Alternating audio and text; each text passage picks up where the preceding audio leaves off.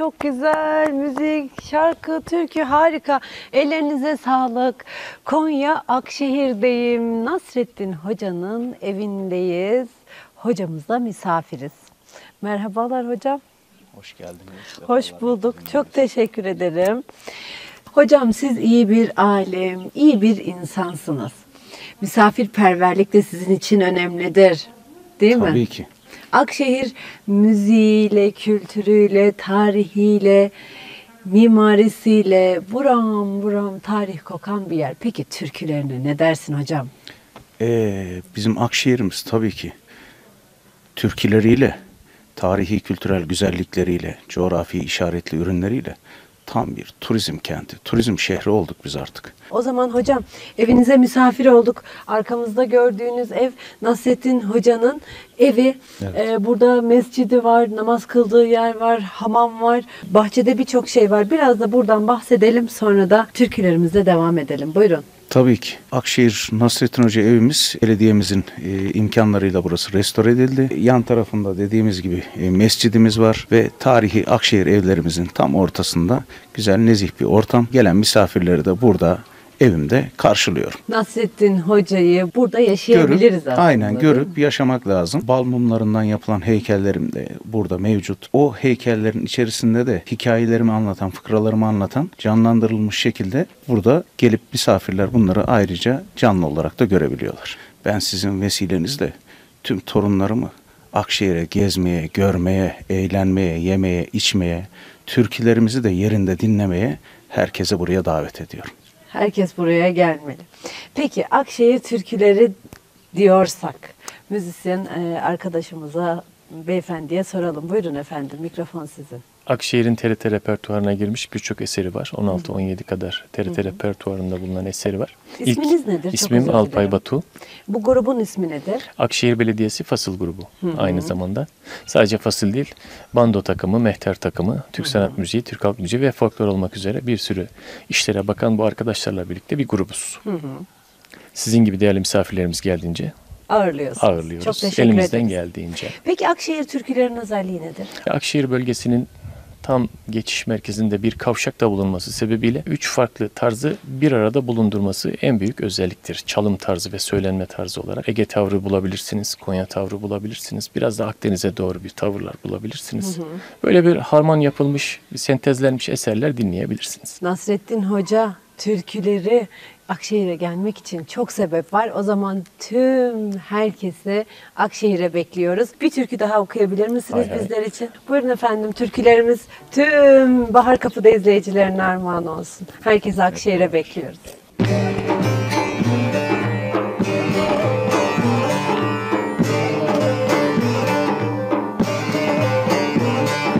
Şöyle de gel aman, böyle de gel aman Altın dişlim gel aman, sırma saçlım gel aman Bey gözlüm gel aman, turnam gelir Yatağa kalka yavrum gelir.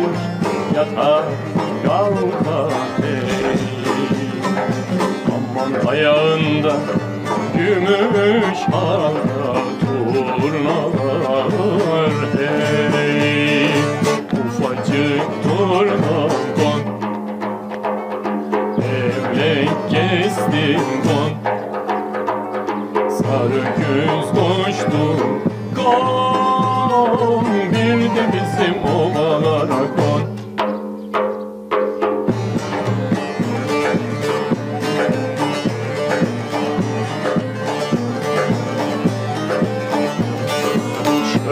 Şöyle de gel aman, böyle de gel aman.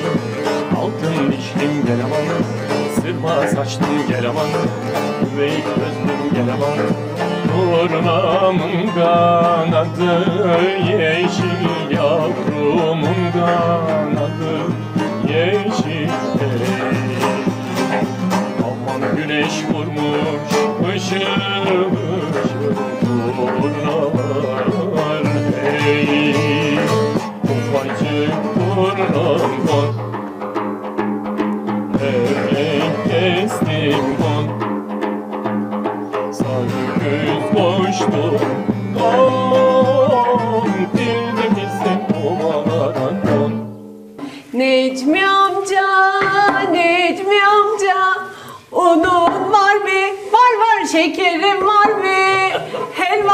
yapsana, helva yapsana, helva yapsana, vay vay helva yapsana, helva yapsana, helva yapsana, helva yapsana, vay vay helva yapsana.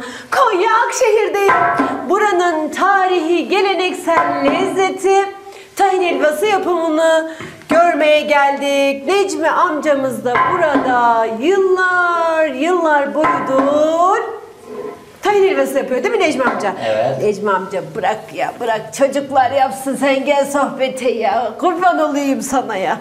Gel şimdi e, Necmi amca Efendim, bu çocuklar mı çalışanlar mı? bunlar da çalışan ama hasta evlattan fazlalar. Öyle mi?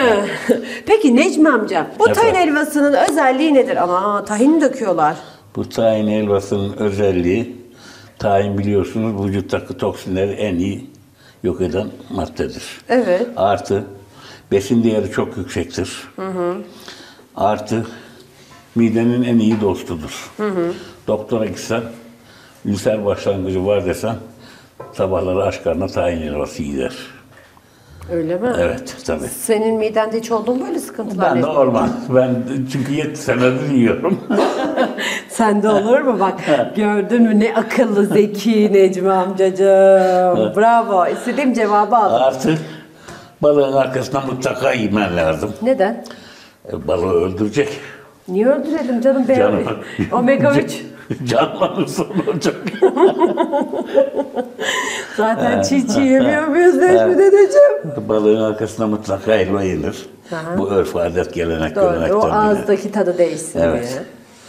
Artı Peki- en iyi yiyecektir bence. Kahvaltıda. Yani hele bilhassa kış günlerinde bebelerin falan yiyeceği en iyi yiyecektir. Peki tayin helvasının e, buradaki geleneksel özelliği nedir? Tayin helvası saraydan gelme. Saraydan gelme mi? Evet. Karıştırıyor muyuz bunu? Tabii. Saraydan gelme artı Hı hı. bizim yöremizde atıyorum benim şimdi mahalle oldu. Benim köyümde 100 hane varsa veya 200 hane varsa 100 hanesi helvacılıkla uğraşır. Niye? İşte birbirine gelenek görenek olmuş. O Bize- zaman çok helva He, satışı var burada. Tabii. Sonra dışarıdaki helvacıların atıyorum buradan Afyon'dan çık Balıkesir'in çıkışına kadar tüm helvacılar benim köylümdür. Öyle mi? Evet. Ah senin bütün rakiplerin köylülerin mi o zaman? Necmi amcacığım. Takip edeceğiz. Ha, Ankara'ya git tüm helvacılar şarkı karaşlıdır. Öyle mi? Güneyden Konya'ya gel tüm helvacılar Darenderlidir. Malatyalı, Nasıl ki- hemşerilerim. Nasıl, nasıl ki Kastamonular yufkacı, börekçi, Tokatlar hamamcı. Bizim buranın yöresi de helvacıdır yani. Helvacı. Peki sen kimden öğrendin Necmi amca? Şimdi ben dördüncü kuşağım, oğlum beşinci kuşak. Hmm. Artı burası 140 yıllıktan. Gerçekten mi? Tek dükkan 140 yıldır babadan oğula, babadan oğula geçiyor. Benim büyük dedem açmış burayı 1883'te. 1870'li yıllarda bu işi öğrenmiş. Buraya gelmiş, buranın yarısını o zaman Ermeniler, Rumlar varmış. Onlardan satın alıyor dükkanın yarısını. Yarısını buranın yarısından alıyor. 1883'te bu işe başlıyor. O da o zaman ulaşım bulaşım yokmuş. 1870'li 60'lı yıllarda Aydın'ın Bağarası diye bir yeri var. Orada bu işi öğrenmiş. Adam bir ağanın yanına hizmetkar duruyor. Adamın bağları varmış. Yazın bağlarında çalışır. Kışın da merkezde helvacı dükkanı varmış. Helvacı dükkanda bu işi yaparmış. 15 sene adam gitmiş gelmiş. Her üç ayda geliyor köyüne çocuğunu çoluğunu görmeye atılan. Üç ayda gidiyor. Sonunda hanıma diyor ki çalıştığı patronun hanımı uşağından iki kez akçemi çıkarıyor ağzını. Oğlum Mehmet Çavuş diyor şunu al. Bu adamın ne işi biter ne parası biter. Git kendine bir düzen vur diyor. tamam mı? O da diyor ya ağama karşı ayıp olur diyor. Sen karışma diyor. Git ağanın elini öp. Git diyor kendine bir mekan iş kur diyor. Ondan sonra asana at diyor. Geliyor burayı satın alıyor. O gündür bugündür. Bu dükkan Bakalım devam Taci'den sonra kim gelecek onu bilmiyorum tabii. Ay, peki sen e, hep bu helvaları dededen babadan Evet, mı tabii, öğrendin? tabii. Sen de öğrettin. Tabii. Peki buradan ayrılıp böyle sana gidip rakip olanlar oldu mu? Rakip yok canım olmaz. Herkes işini yapar ya ne olacak. Dünya kime kalmış kızım? İşte geldik işte ben de gidiyorum sen de gittin herkes gidecek. Doğru Bu tabii. işte evi daim ya. Götüren var mı oraya hiç? Yok. O kadar. Doğru vallahi Necmi amca. Gelen öğrenen öğrensin, Ya parasını tabii öğrensin, kazansın, yet- yet- dükkanını keşke öğrensin, yetişsin yapsın yani. değil mi? Çırak bulamıyorsun, yetişecek eleman bulamazsın. Ağaç şey olduktan sonra eğilir mi? Necmi amca böyle elle mi yorulacak bu? Şimdi fabrikalar bunu yeni nesil uğraştı. Aynı çimentayı harç makineleri olur ya, onda yapmaya kalktılar olmadı. Şimdi bu helvanın sıcaklığına, soğukluğuna, teline göre yön verir. Sıcak olursa bekler. Soğuk olursa zaman gelir pürmüz tutar etrafına. Ha, yani el değmeden olmaz. Maharet eldedir. Peki nasıl yapılır? Macun pişiyor kazanda. Kazandan alıyoruz. Altında tahin. Tahinle beraber yiyoruz. Ha, bizim helvamızın özelliği nedir biliyor musun? Bizim helvamızda kesinlikle koruyucu yoktur. Hakiki helva. Pancar şekeri, tahini yerli soğan tahini, bir de çöven. Çöven de şu beyazlığı verendir. Evet. Peki bu böyle beyaz olana kadar yoğuracak mıyız? Bu teli öldürecek işte. Ne olacak? Ne, Tel, aynı pişmanenin teli nasıl bitiyor? Ha öyle mi Ha, olacak? tabii. Ha, bir bakayım mı sıcak mı? Ay Sıcak çok tabii. sıcakmış. Ben de yorabilir miyim? Bismillahirrahmanirrahim. Nasıl üzülüyor? Üzülüyor şu an. Üzülüyor mu? Yani teli kopmayacak. Ay vallahi annem bana beni üzme diyordu, babam üzme diyordu da helvayı üzmeyi de ilk defa duydum. Çok bir, güzeldir ha. bir topak koparıp yiyeyim mi? İyiyiz tabii. Ha. Ülsere, bağırsaklara, bağışıklık sistemine birebir şekersiz, glikozsuz, orijinal mi orijinal? Koruyucusuz. Ne- Korucusuz. Necmi amcanın adıyla, ustamızın tadıyla, elinin lezzetiyle. Meşhur mu meşhur tarihi geleneksel Kesek helva. Kesek helva. evet, yeni ismi tahin helvası. Evet. Eski ismi kesek helvası efendim. Necmi amca. Efendim? Peki helva böyle bak kesik kesik oldu. Neden? Kesek helvacı. Şimdi kalıplar atılacak bu. Kalıplarda su soğuyacak. Tezgah atılacak. Büyük kalıplar atılır tezgaha kesilmek için. Bunun işte kakaolusu olur, fıstıklısı olur. Üç tane çeşidi vardır. Peki senin lezzetini tutturabiliyorlar mı? Beni geçti bunlar. Geçti mi? Bunlar beni geçti. Gerçekten Tabii mi? ya Allah Allah. Nasıl geçti ya Necmi geçti amca? ya o. Yeni nesil bunlar. Bunlar televizyon çocuğu. Güç yetmez mi diyorsun? Neden Necmi amca anlatsana. Ya çünkü bunlar yenilikçilik ya. Bu daha bir açılımlı bunlar. Bizim daha çevre çevreden gelmedi ki bunlar. Her dünyaya hükmediyorlar. Her şeyi görüyorlar. Ya Necmi amcacığım ne kadar mütevazisin. 140 yıldır devam eden bir işletmede sen hala yeni nesil daha başarılı diyorsun. Sen bunu demesen yeni nesil nasıl hırslanacak, devam ettirecek değil mi? Evet, Teşekkür tabii, ederim. doğru söylüyorsun. Gerçekten. Peki. Artık bizim helvanın özelliğinden bir tanesini de söyleyeyim. Koruyucu k- katkı yok. Efendim doğal diyoruz ya. Şimdi yağmur yağdı mı bizim helva böyle yapış yapış olur. Bu helvanın bozulduğu anlamına gelmez. Çok sıcakta yağını bırakır.